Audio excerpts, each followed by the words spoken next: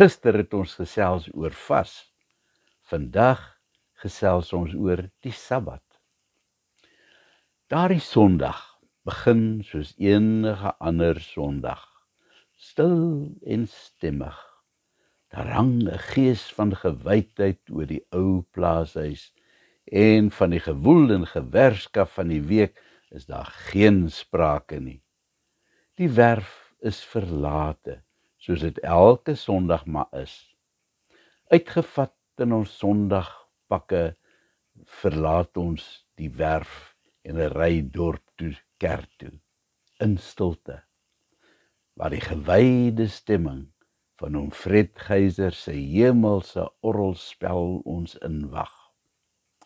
Na kerk ry ons weer plaas toe terug deur die dorp Alles is mors dood in die dorp. Daar's skaars 'n motor op straat. En al die winkels is bot toe. Sondag middagete is ook soos elke Sondag spesiaal en heelwat vroeër as weksdae sodat daar na ete tyd is om te kan gaan skuins lê.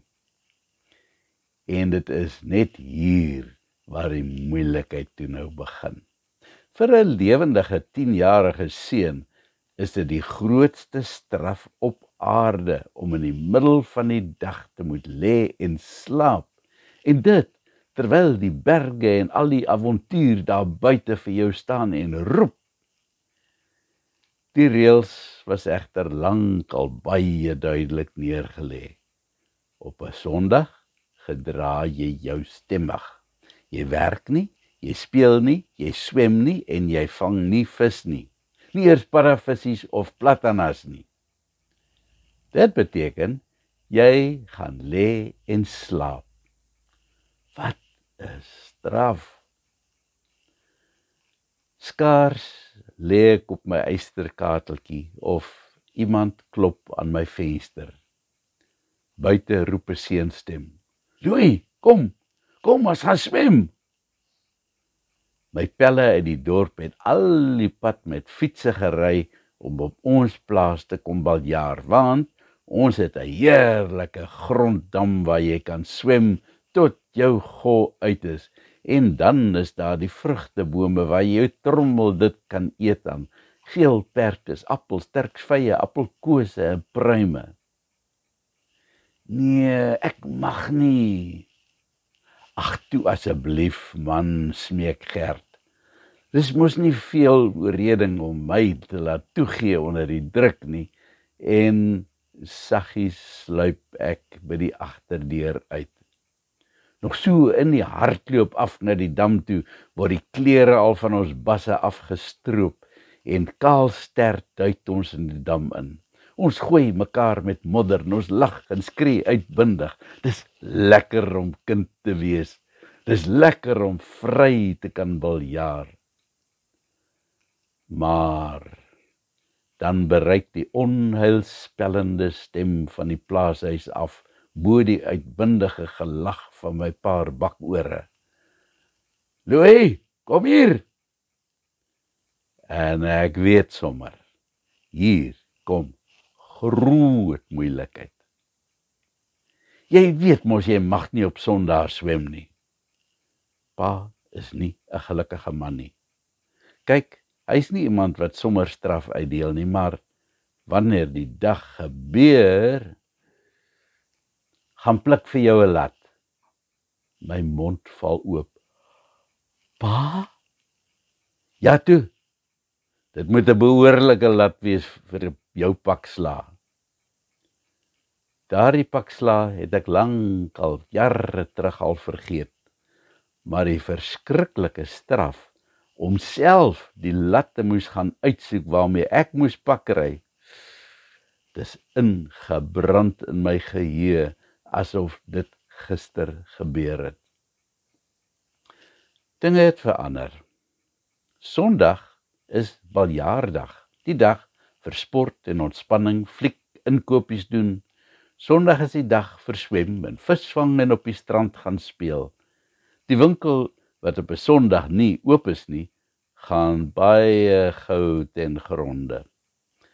Dit is dus vir ons baie moeilik om werklik 'n prentjie te kan vorm en te begryp hoe ontsettend belangrik die Sabbat was vir die Jode in Jesus se tyd. Vir hulle was daar die gewone wette, soos dat jy nie mag doodslaan en steel nie. En dan was daar die twee baie spesiale wette wat die Jode onderskei het van alle ander mense. Die besnydenis en die Sabbat. Daar was 'n lange lyste van moets en moenies vir 'n Sabbat. Sabbat het natuurlik geduur van Vrydag aand met sononder af tot Saterdag aand sononder. Soos sommige Christene dit terloops vandag nog steeds onderhou. En toe pleeg Jesus se disippels die verskriklike sonde deur te loop en koringare afpluk terwyl hulle deur 'n land stap. Dit was 'n natuurlike aksie van manne wat iets by die honger van vir die hongerpyne gepluk het in die verbygaan. Ongelukkig vir hulle was die afpluk van koringare op die fariseërs se lysie van moenies, want dit was oes en oes was werk en werk was verbode. Die Sabbat is gemaak vir die mens en nie die mens vir die Sabbat nie, verduidelik Jesus vir die Fariseërs. Wat beteken dit? Die Fariseërs het die Sabbat gesien as iets wat God op die mens afgedwing het en as jy dit nie onderhou nie, sal jy gestraf word. Jesus stel God as die goeie gewer wat sy kinders liefhet en gebooie gee om mense te ondersteun en te help en beslis nie om hulle te onderdruk nie. Die disippels kan dus gerus maar koring pluk as hulle honger het. Christelike vryheid maak ons los van wettisisme. Dit beteken dat ons met heel ander oë na die Sondag kan kyk beteken dit dan dat jy maar mag maak soos jy wil? In vers 28 sê Jesus dat hy ook die Here van die Sabbat is. Dit beteken dat die gesag nie in onsself lê nie, maar dat Jesus die een is wat die finale sê het. Ons moet aan hom al die eer gee, ook in die uitlewing van ons Sondag of Sabbat. Christelike vryheid beteken dat ons in persoonlike verbondenheid en gehoorsaamheid aan Jesus alleen ons vryheid kan uitleef. Nie alleen in die wyse waarop ons die Sondag gaan spandeer nie, maar ook hoe ons die ganse lewe gaan uitleef. Kom ons bid. Here help my asseblief om my ganse lewe in te rig om te leef in u liefde en om my vryheid uit te leef om u te eer. Amen.